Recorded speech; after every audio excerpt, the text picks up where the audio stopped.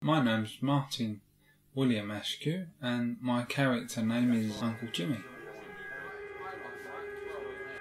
I never thought I was going to be acting in this film, to be honest with you. But I, I took that on board because of the casting process. With Jimmy, we was having a few hurdles, so I read for Jimmy, and uh, I didn't get any favours, by the way. Actually, I, I went through a whole intensive rigmarole of getting the role.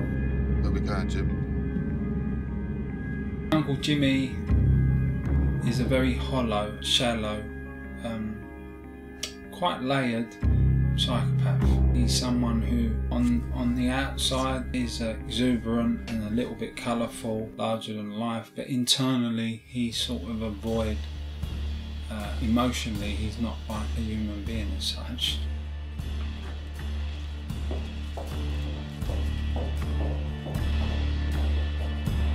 And answer your fucking phone been four and a half years since I've been writing the script with Andrew when we hooked up together. Because obviously it's based upon truth, but fictionalised, you know. I wasn't egotistical to say, oh, let me do my life story. I, I just wanted to do something different and something creative. And he said, well, why don't we sort of hone in on your experience?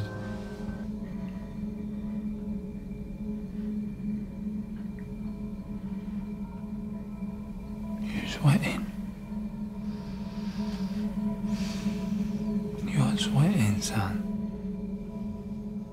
We couldn't tell the whole truth. We didn't have the budget, and obviously, it wouldn't have been as interesting as Dave's truth. So it's not Martin. It's it's Dave, and Dave is a fictional character. But the emotional journey is true. I went on one of that that emotional journey from coming away from a very dark life and going into a very sort of good life as uh, embracing Islam. I mean, the, the, the, art department, honestly, they've just they've really done an amazing job. I had to step back a little bit from a professional perspective because once I got the role of Jimmy, because I was so extensively, heavily involved in the script process, I was only going to come in on certain days because I had to find this guy, this character, and uh, you know I couldn't concentrate on script stuff then. So all the other aspects, I've given pointers to, or I've had a phone call here and there, and that. Most of the stuff is Alex and, and, and Sophia and, the, and all the others. It's really, really amazing what they've achieved.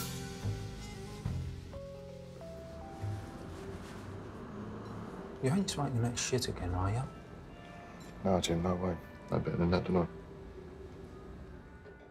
The fact that I'm a practicing Muslim, it has been really difficult for me to jump back into this guy's life and this psychopath I'm trying to play. Because some of the things go against the grain, you know, of my faith. But I thought it's a lesser evil, you know. I felt this was very important that here was a guy who was quite dysfunctional, quite violent because of his environment and because of the culture he was born into, who changes for the betterment of his life and his society. I felt got to take part in this as well because the overall message is a story arc of someone ain't a Muslim who's quite nasty, he becomes a Muslim and becomes quite good.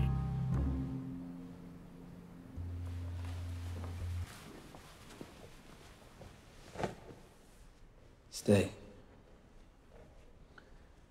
Stay as long as you want.